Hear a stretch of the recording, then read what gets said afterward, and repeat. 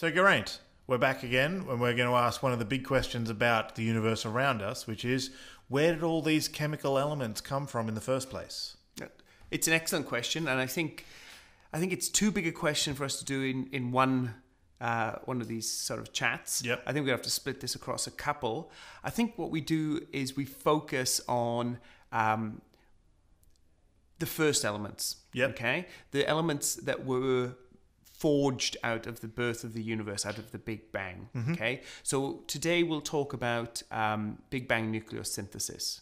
Right. So let's let's go way way back, way way way back to the initial stages of the universe. Right? Okay. We know that the universe was exceedingly hot. We mm-hmm. know that the universe was exceedingly dense, and so this is a tiny tiny fraction of a second after the birth of the universe. Mm-hmm. This is after this period known as inflation, which we'll discuss again at some point. Universe is really hot, um, and in these conditions, normal matter as we know it just simply can't exist. You know, if, if you took a normal atom and you plonked it in there, it would be struck from all sides by other atom or other particles, photons, etc. It would be ripped apart. Yep. So we have this soup. We have a soup which is uh, contains quarks and electrons and lots of photons bouncing around. Other strange things have already happened.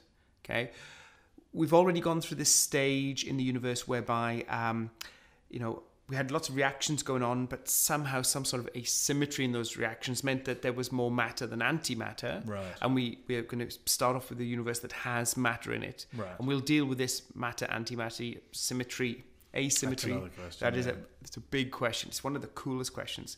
But we've got this really hot soup. There's lots of particles. Um, there's lots of massive particles, but they have a very short lifetime and they tend to die away very, very quickly. Okay. Okay. So things start to cool down. Quarks start to stick together into other particles. Massive particles start to decay into other particles. Everything is cooling as the universe expands. Right. It's still fiery hot. Yep. You know. So. Um, cooling down, cooling down. We get into the epoch which people start to talk about of this epoch of nucleosynthesis, which is roughly approaching one second after the Big Bang. Okay, approaching, where we have this sea of the lightest mass particles. We have electrons, Yep. photons, protons, and neutrons. Right. And as you know, in this hot, hot soup, um, there are effectively slightly more protons than there are neutrons. Right. So, do you know why? So, uh, there's a couple of reasons for this actually. So, one of them is in, the early universe when it's really super hot, you have all these processes that will make all of the other sorts of things on the menu. Yeah. So, if things are hot enough and you've got something on the menu which costs a certain amount of energy, it'll get made one way or another. Um, in particular, there's a, there's a processes that will turn protons into neutrons and neutrons into protons. Okay, they're actually via the weak force, which is kind of interesting. There's there's some interesting stuff involved there. But um, the important thing is because that neutron is slightly heavier, it takes a little bit more energy for it to make. And so when this reaction is going back and forward, as the temperature cools towards the point where that, that energy difference starts to matter, the the equilibrium, the the place where these reactions are in balance, will actually prefer to make slightly more of the proton because they're a bit cheaper. They just take a little bit less energy. So that effect on its own will leave you with a universe which is about a sixth. One in there'll be a sixth more, if that makes sense, uh, protons than neutrons. No, that's not right. There'll be a uh, um, the ratio of protons to neutrons will be a sixth. Sorry, not a sixth more. Um, on top of that, that process stops at some point. Okay, as things cool down enough, and we're sort of left with that level of you know uh, one in six. Also, free neutrons are unstable, and so they will start to decay. And so you have these neutrons; they're freshly made. Uh, there's not enough of these of the, the that other reaction to sort of mess with them very much. But a free neutron, if it's just sitting there in empty space, will last about 15 minutes before it spontaneously decays into a proton. So when all that's said and done, uh, once you take that into account as well, there's a slight factor there. Um, you know, a few minutes into the universe. S- That means that the ratio there's there's a ratio of now one seventh of of protons to neutrons, Okay. Okay. So, so it's the mass difference between the protons and the neutrons, which which does most of the work. And, and the reason that we care is Mm-hmm. that, as you said, free neutrons decay. Mm-hmm. So what must happen is that when we come out of whatever happens in the Big Bang, uh, free, any neutrons that are left over must get sucked up into atoms. And what we want to know is how, how that process occurs, Yeah. right? So let's go back. We've got this soup, Yep. okay? Protons, neutrons, electrons, and photons, fiery hot. Yep. Universe is cooling down. What happens? So the reason why it, it's obviously hot enough for nuclear reactions to happen right, at these early at very early times. The problem is it's also hot enough for for nuclear reactions to unhappen.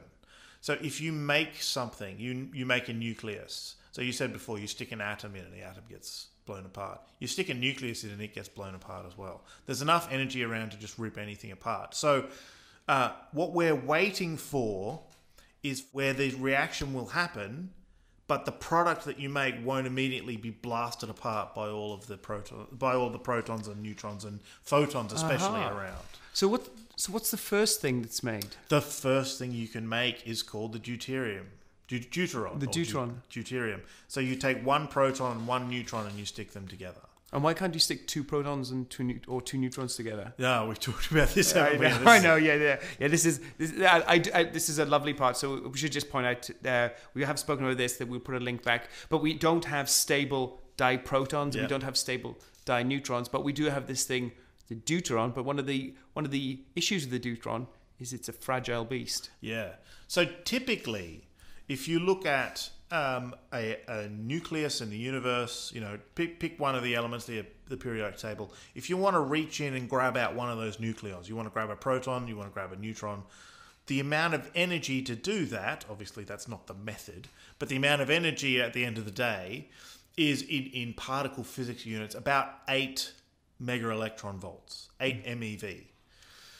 The deuteron, on the other hand, if you want to pull that apart, there's only two of them, so that's the only option you've got. Uh, it takes only 2.2 MeV. And this is a problem. You think, oh, that's great. They're really easy to, to make, but they're also really easy to fall apart. So, uh, as the universe is cooling, cooling, cooling, cooling, you have the amount of time, right? You have the time in the universe where your average nucleus would probably stick together. Once the typical photon that's flying around has less than that 8 MeV to sort of knock something out of a nucleus, then we're fine. We could make one of these nuclei, right? Unfortunately, there's still enough energy around for it to blast apart the deuteron, which is the first thing we have to make. So we have to wait eight, no, not enough. Wait for it to come down. Wait for the energy to come down to two point two, and then now we can start to build up some by via these reactions, via the protons and electrons. We can now build up some deuterium. Not protons and electrons. Ah, Protons and neutrons. neutrons. Yes. Like in all of this, electrons are flying around just doing whatever they like. They it will be a long time before they, get a job. Yeah, 300,000 years. Okay, so, um, so how long do we have to wait? So Big Bang, what, what time does it sort of cool down to enough? It, it's roughly around a second. Uh, So, so okay. and then nuclear reactions start sort of, um, you know, in in sort of minute, after about a minute. Okay, so what? So we're so, in that time scale. so what happens? The universe cools. Some protons start to join with uh, uh, neutrons. You start to create deuterium. Mm-hmm. But then what happens? I mean, th- things keep cooling. Things keep cooling. So once that happens, there's another.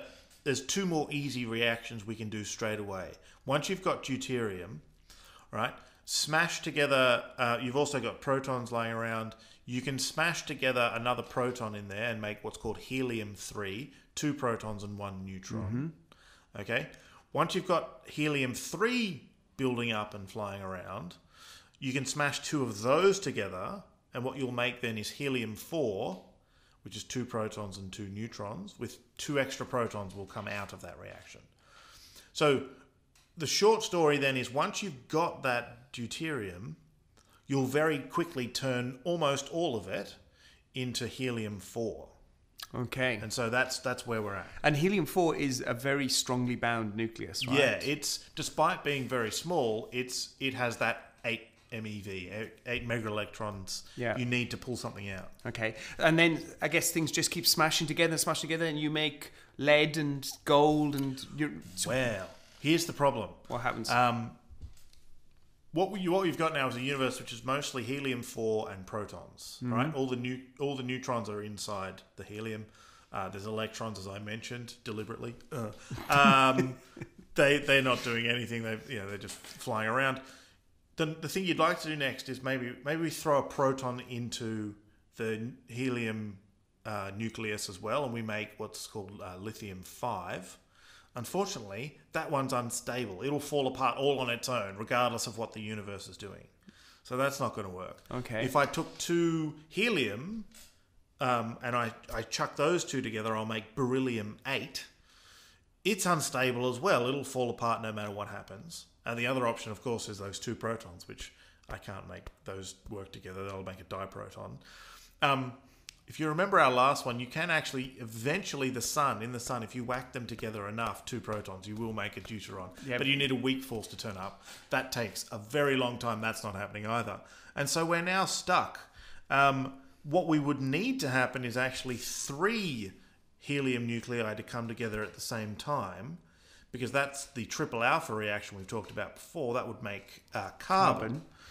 The problem is that requires very hot, very dense conditions. So unfortunately, we like we had to wait around and wait around until deuterium was nice and comfortable, and then we made some deuterium. Conditions were still hot enough to turn most of that into helium four, but we've missed the boat for for uh, carbon. Carbon.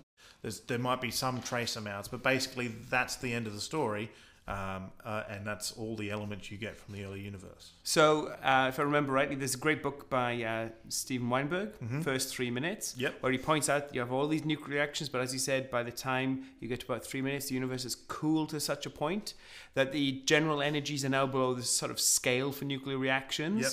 and the nuclear reactions are turned off. Yep. And so we end up with a universe. It's still mainly protons. Yep. Yeah. Any loose neutrons have decayed into protons. Yep. All of the other um, uh, neutrons, effectively all of them, are bound together into uh, helium. Yep. And there's still a few other little trace elements that have made their way through. Yeah. So remember, along the way, we made uh, we made some uh, deuterium. There's still a little bit of that left over. Yeah. Um, it's it's at about for, for every particle in the universe, about one in every three hundred thousand is going to be deuterium. But that's enough for us to go looking for it, and we can actually see that. At a similar-ish kind of level, there will be some helium three left over, which just didn't quite make it into the helium four. And the other one is actually there will be something called lithium seven. So every now and then, uh, I am uh, the the reactions will will actually produce one of these ones where that's three protons and four neutrons. Okay. Uh, that's so there are. uh, I think that's at a level about ten to the power of ten, but there are very trace amounts of this lithium seven around as well. Okay. So so these are what known as the primordial abundances, right? So our universe was born effectively 75% hydrogen, Yep. 25% helium By mass. by mass. Everything else is just trace. yeah. and there's there are no heavy elements at all. Yeah. But quite clearly, what we have is our universe. We have lots of heavy elements. We have the carbon, we have oxygen, etc. Yep. So they're not on the scene. They must arise later. Yeah. And I guess that's going to be the subject of our, our next one is Yep. where do these heavier elements come from? That's part two.